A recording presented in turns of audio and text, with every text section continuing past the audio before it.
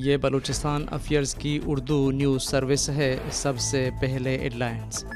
पाकिस्तान फ़ौज के media wing I S P R ने कहा है कि ज़्यारत में मारे गए अफराद को मासूम शहरी ज़ाहिर किया जा रहा है। बलूचिस्तान की सियासी तंजीमों और बलोच इंसानी हकूक़ की तंजीमों ने ज़्यारत में मारे गए अफराद की पहले से जबरी गुमशुदा होने की तस्दीक की है। उन्हें जाली मुकाबले में मारने को रियासती और मीडिया प्रोपेगेंडा करार दिया है। बलूचिस्तान में हालिया बारिशों के दौरान मुख्तलिफ़ हादसा में निन्यानवे अफराद जाम बहक सतावन ज़ख्मी।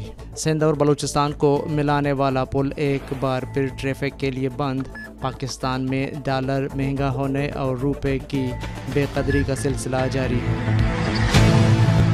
आज जुलाई की 22 तारीख है, दिन जुमा और इस वक्त बलूचिस्तान में शब के 10 बज रहे हैं। बलूचिस्तान अफेयर्स की उर्दू न्यूज़ बुलेटिन सरशप अहवाल के साथ में हूँ मकबूल नासिर शपोश बात। फ़ौज के ताल्लुक़ आमा, शोबा आई एस पी आर की प्रेस रिलीज़ के मुताबिक 12 जुलाई को लेफ्टिनेंट कर्नल लईक बेग मिर्ज़ा और उनके कज़न उमर जावेद को कुछ अफराद ने ज़्यारत से कोयटा जाते हुए बीवी बच्चों के सामने अगवा किया था। अगले दिन लेफ्टिनेंट कर्नल लईक मिर्ज़ा को बेदर्दी से कत्ल किया गया और 17 जुलाई को उनके कज़न उमर जावेद की लाश पहाड़ों से बरामद हुई। अगवाकारों के ख़िलाफ़ किए गए ऑपरेशन में नौ अफराद मारे गए, जबकि फ़ौज के हवलदार खान मोहम्मद इस दौरान फायरिंग से हलाक हुए। आईएसपीआर के मुताबिक ऑपरेशन के बाद एक मजमूम और गुमराह कन प्रोपेगेंडा के तहत मारे गए अफराद को मासूम शहरी ज़ाहिर किया गया है, जो बलूच रवायात के ख़िलाफ़ है। इस गनाव ने वाक़े से तवज्जो हटाने के लिए उनको पहले से लापता अफराद की फ़र्ज़ी लिस्ट में शामिल करने की कोशिश की गई। मारे गए अफराद में एक सलीम बलूच नामी शख्स भी शामिल था, जिसके बारे में बेबुनियाद दावा किया गया कि वो पहले से लापता और सिक्योरिटी फोर्सेस की हिरासत में था। सलीम बलोच एक अरसे से मुसल्ह कार्रवाइयों में भरपूर हिस्सा ले रहा था, जबकि इसी ऑपरेशन में मारे गए एक और शख्स शहजाद बलूच की कब्र पर बी एल ए ने अपना झंडा सजा रखा है। इस तरह के अफराद को जबरी गुमशुदा अफराद के खाते में ढाल कर उनको मजलूम और रियासत को ालिम के तौर पर पेश किया जाता है। इस मनफी और मनज़म प्रोपेगंडा की वजह से न सिर्फ़ आवाम को गुमराह किया जा रहा है, बल्कि रियासती अदारों को मुसलसल बायस तनकीद बनाया जाता है, जबकि ज़मीनी हक़ इससे यकसर मुख्तलफ हैं। Balochistan national party national party, Baloch national movement, national democratic party, Baloch human rights council voice पर बलोच मेसिंग पर्सनस और बलोच यकजहती कमेटी ने अपने मुख्तलिफ़ जारी करदा बयान में पाकिस्तान फ़ौज के हाथों ज़्यारत में शहीद किए गए अफराद की पहले से जबरी गुमशुदा होने की तस्दीक की है और उन्हें ज़्यारत में मुकाबले में मारे जाने के बयानी को रियासती और मीडिया प्रोपेगेंडा करार दिया है। इन सियासी और इंसानी हकूक़ की तनजीमों के मुताबिक अब तक ज़्यारत में मारे जाने वाले सात अफराद की तस्दीक हो चुकी है और जिन अफराद को शहीद किया गया, उनको बाकायदा सरकारी एहलकारों ने मुख्तलिफ़ अवकात में मुख्तलिफ़ इलाक़ों से उठाया था। और उनके लवाहकिन, उनकी बाजियाबी के लिए सरापा एहतजाज थे, जबकि किसको कहाँ से उठाया गया, ये तमाम रिकॉर्ड लवाहकिन और मुख्तलिफ़ तनजीमों के पास मौजूद है।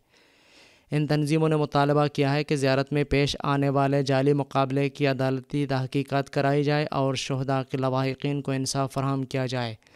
इसके अलावा बलोच ह्यूमन राइट्स कौंसल ने अपने बयान में ज़्यारत में पाकिस्तानी सिक्योरिटी फोर्सेस के हाथों जबरी तौर पर लापता किए गए बलोच अफराद के कत्ल को इंसानियत के ख़िलाफ़ जुर्म करार देते हुए कहा था कि जबरी लापता अफराद के कत्ल का यह सानिया गुज्त चंद सालों से रियासती जुल्म व पॉलिसियों के मुखालिफ बलोच सियासी और समाजी अफराद के ख़िलाफ़ किए जाने वाले मुबैना और बड़े पैमाने पर सर्च ऑपरेशन के दौरान हरासती और मावरा अदालत कत्ल का एक छोंका देने वाला वाक़ है, जहाँ लापता अफराद के कत्ल के बाद सिक्योरिटी फोर्सेज जाए वकुआ के साथ टेम्परिंग करते हुए उसे ऐसे पेश करते हैं जिससे ऐसा मालूम हो कि ये हलाकतें फायरिंग के तबादले में हुई हैं। बी एच आर सी के मुताबिक बलूचिस्तान में इंसानी हकूक़ की अबतर सूरत हाल अकवा मुतहदा की संजीदा मुदाखलत का मुतालबा करती है। इसलिए बलूच ह्यूमन राइट्स कौंसल अकवा मुतहदा की इंसानी हकूक़ कौंसल से मुतालबा करता है कि वह बलूचिस्तान की सूरत हाल पर इंक्वायरी कमीशन कायम करे। उन्होंने मज़ीद कहा है कि हमें यकीन है कि पाकिस्तान के अंदर और बाहर एहतसाब के फ़ुकदान ने पाकिस्तानी सिक्योरिटी फोर्सेस को कानूनी नतज के खौफ के बगैर इंसानियत के ख़िलाफ़ जराइम करने की मज़ीद तरगीब दी है। उन्होंने कहा है कि बलूच मसाले पर तवज्जो देते हुए उसे तस्लीम करना और उसका पुरान अल है हद, बेहद ज़रूरी है ताकि बलूच तशद और तजलील से पाक ज़िंदगी गुजार सकें।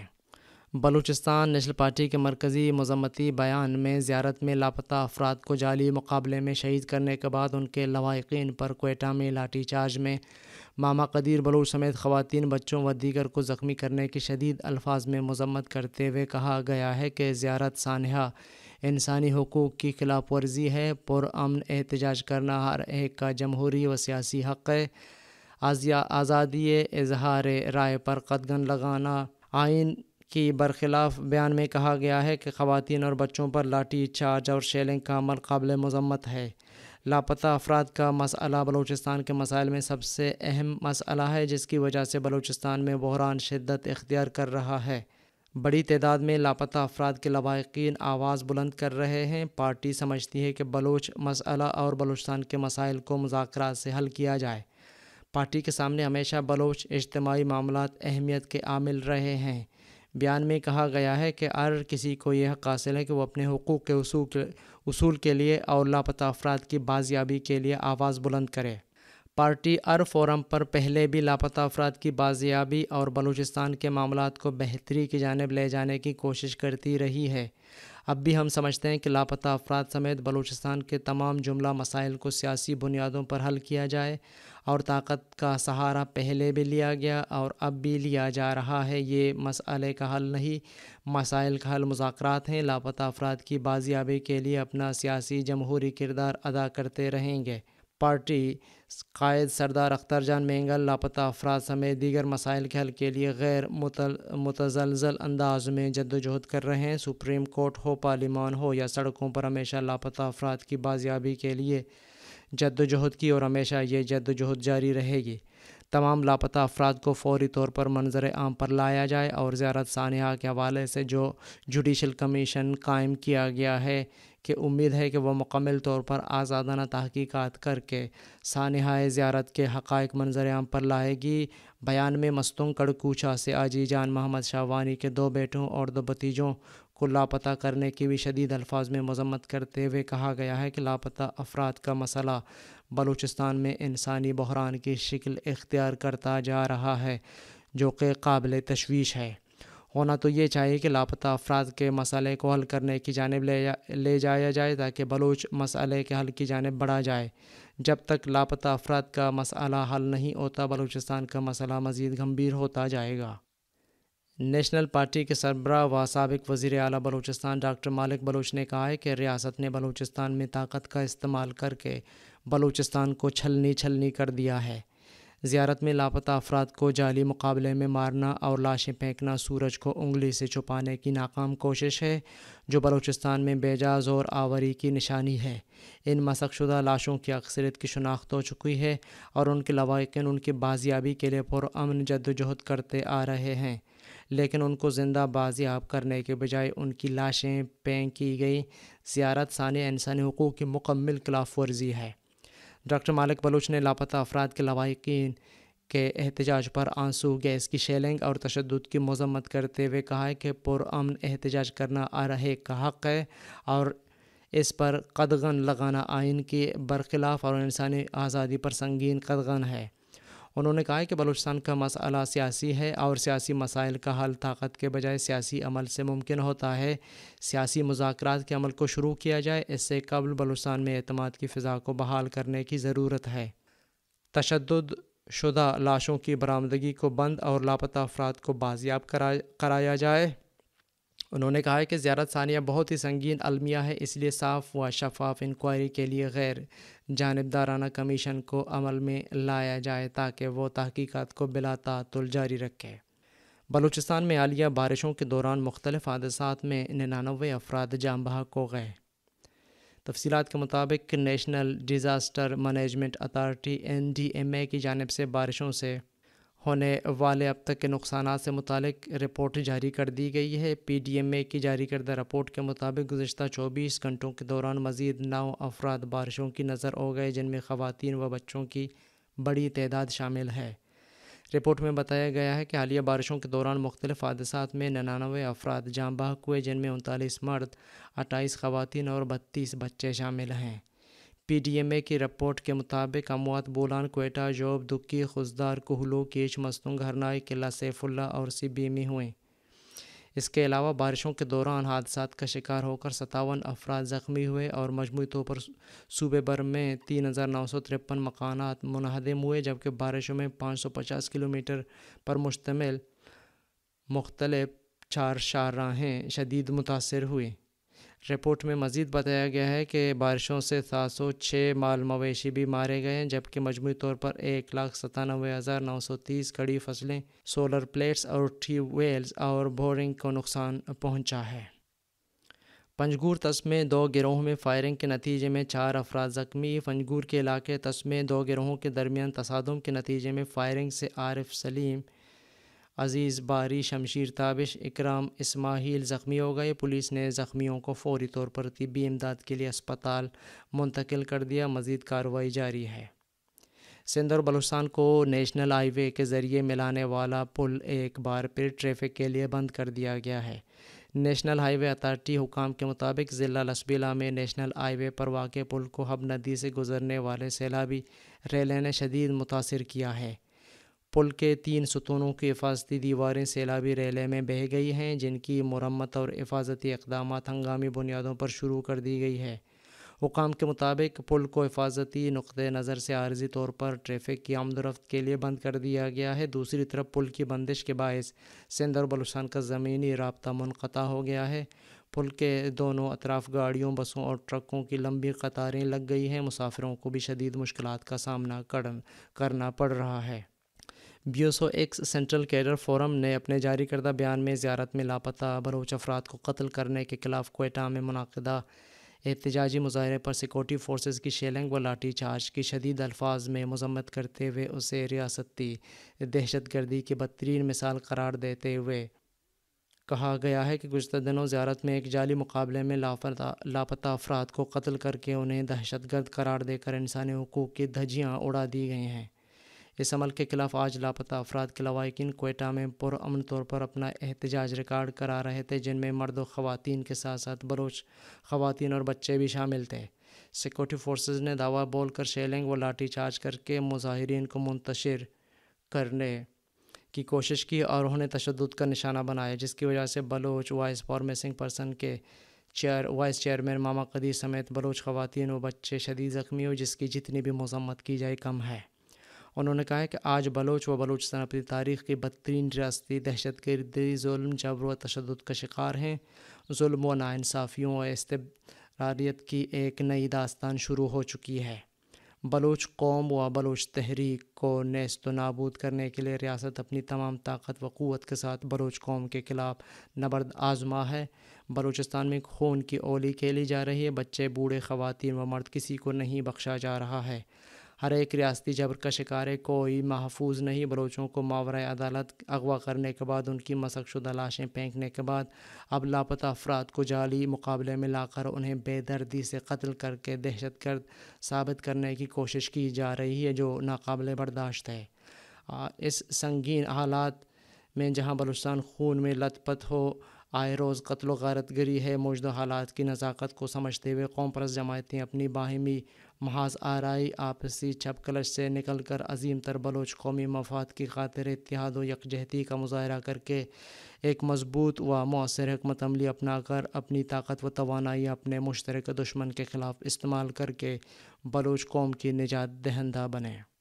बलूच यकजहती कमेटी ने सानह ज़्यारत के ख़िलाफ़ कल कोयटा में होने वाले एहतजाजी रैली पर पुलिस की जानब से शेलिंग तशद और नारवा सलूक पर शदीद रद्द अमल देते हुए कहा कि एक जानब मासूम और बेगुनाह लोगों को जबरी तौर पर गुमशुदा करके उनकी लाशें फेंकी जा रही हैं। तो दूसरी जानब, मुतासर लवाकिन को एहतजाज करने की पादाश में शदीद तशद और पुलिस की जबर का सामना है। पुलिस के मासूम बच्चों ख़वान पर आँसू, गैस की शेलिंग व तशद इंसानी हकूक़ की संगीन खिलाफ वर्जियाँ हैं जो अरसा दराज से बलोच अवाम के साथ जारी वसारी हैं। तर्जुमान ने कहा है कि कोयटा के एहतजाजी रैली में पुलिस की आँसू गैस और तशद से कई खवतिन व बच्चे ज़ख्मी व बेहोश हो गए। किसी भी जमहूरी रियासत में पुरान शहरीों पर ऐसे मजालम डाए नहीं जाते, जबकि बलोच अवाम के साथ शदीद रियासती जबर के ख़िलाफ़ रियासत के तमाम अदारे खामोश और शराकत दार का किरदार अदा कर रहे हैं। जाली मुकाबले में शहीद किए गए अफराद के हवाले से मीडिया का गलत बयानी और प्रोपेगेंडा सहाफ़ती बदयानती का वाज सबूत है। मीडिया को अपने किरदार पर नज़रसानी करने की ज़रूरत है। तर्जमान बयान के आखिर में ज़्यारत वाक़ की जुडिशल इंक्वायरी और जाली मुकाबलों में लापता अफराद को निशाना बनाने के वाक़ात की रोकथाम का मुतालबा करते हुए कहा है कि इससे पहले भी लापता अफराद को जाली मुकाबलों में शहीद किया गया है और अब इसमें एक मरतबा फिर तेज़ी लाई गई है। ज़्यारत वाक़ की शफाफ, तहकीक़ात और इन वाक़ात की रोकथाम के लिए के हवाले से मुकम्मल यकीन दहानी तक कोयटा में एहतजाजी धरना जारी रहेगा। वज़ी अली सिंध की हिदायत हिदायत पर सूबाई वज़ीर मीर शबीर बिजारानी की बलोच मिसिंग पर्सनस के ख़ानदानों से मुलाकात वफ्त में बलोच यकजहती कमेटी कराची की आमना बलोच हमीद जहरी की जोजा व बेटी सईदा इमरान बलोच की वालद हफीज़ा खातून शामिल थे। वज़ीर की ख़ानदानों को उनके प्यारों की जल्द बाजियाबी की यकीन दहानी।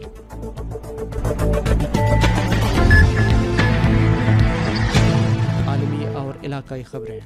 पाकिस्तान में डॉलर महँगा होने और रुपए की बेकदरी का सिलसिला जारी है। जुमा को इंटरबैंक में डॉलर मज़ीद दो रुपये उन्नीस पैसे महँगा होकर और दो सौ उनतीस रुपये का हो गया। ओपन मार्केट में डॉलर दो सौ तीस इशारिया पचास रुपये की सतह पर पहुँच गया।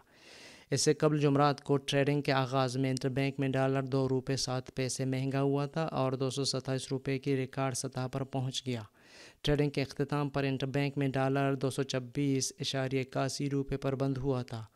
ओपन मार्केट में तीन रुपये इजाफे के बाद डॉलर दो सौ उनतीस रुपये पर बंद हुआ था। पाकिस्तान की करेंसी मार्केट में डॉलर की कदर मुसलसिल बढ़ रही है और पाकिस्तानी रुपया मुल्क तारीख के पस्त तरीन सतह पर जा पहुँचा है। सदर पुटन और सऊदी वली अहद मोहम्मद बिन सलमान के दरमियान बातचीत। सऊदी अरब के वली अहद मोहम्मद बिन सलमान और रूसी सदर व्लादिमिर पुटन ने ख़त्े और आलमी अमन व इसकाम ने इस ताल्लुक़ को मस्तकम करने के हवाले से तबादला ख्याल किया है। चंद दिनों कबल ही अमरीकी सदर बाइडन ने सऊदी अरब का दौरा किया था।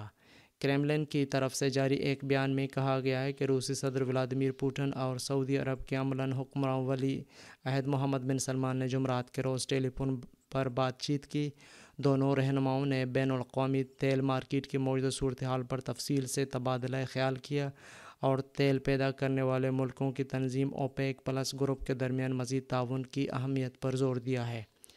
बयान में मज़ीद कहा गया है कि दोनों रहनुमाओं ने ख़त्े और आलमी आमन व इसकाम ने इस ताल्लुक़ को जदीद खतूत पर उसवार करने के हवाले से बिलतफसील तबादला ख्याल किया। यह टेलीफोनिक गुफ्तु ऐसे वक्त हुई है जब छः रोज़ कबल ही अमरीकी सदर जो बाइडन ने सऊदी अरब का दौरा किया था और वली अहद मोहम्मद बिन सलमान के साथ बातचीत की थी। तजियाकारों के मुताबिक पूटन और मोहम्मद बिन सलमान के माबिन बातचीत इस बात का मजहर है कि वाशिंगटन और मास्को दोनों ही सऊदी अरब के लिए अहमियत के हामिल हैं। बिलखसूस ऐसे वक्त में जब यूक्रेन में रूस की जंग के सबब आलमी तोानाई मार्केट मसाइल से दो चार है। क्रेमलिन के मुताबिक पुटन और मोहम्मद बिन सलमान ने कहा है कि रूस और सऊदी अरब तोानाई की आलमी मंडी में ज़रूरी तोज़ुन और इसकाम बरकरार रखने के लिए अपना किरदार अदा कर रहे हैं और इस ज़मीन में मुसलसल अपनी ज़िम्मेदारियाँ पूरी कर रहे हैं। अमरीकी सदर जो बाइडन कोरोना वायरस का शिकार हो गए हैं। वाइट हाउस ने ताहम कहा है कि सदर को कोविड की बहुत मामूली अलामत का सामना है और उन्होंने एंटी वायरल दवाएँ लेनी शुरू कर दी हैं। अमरीकी सदर नासी साल जो बाइडन ने, हालाँकि कोरोना वायरस से बचने के लिए पहले ही दोनों वैक्सीन के अलावा दो बूस्टर डोज ले रखे हैं, ताहम इसके बावजूद जुमरात के रोज़ उनका कोरोना टेस्ट मस्बत आया है।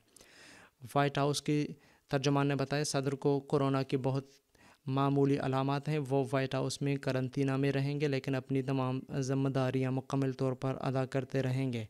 उन्होंने बताया कि सदर बाइडन वाइट हाउस के अमले के साथ बजर फ़ोन रबते में हैं और वह फ़ोन और जूम के ज़रिए अपनी तयशुदा मुलाकातों में भी वाइट हाउस से शिरकत करेंगे।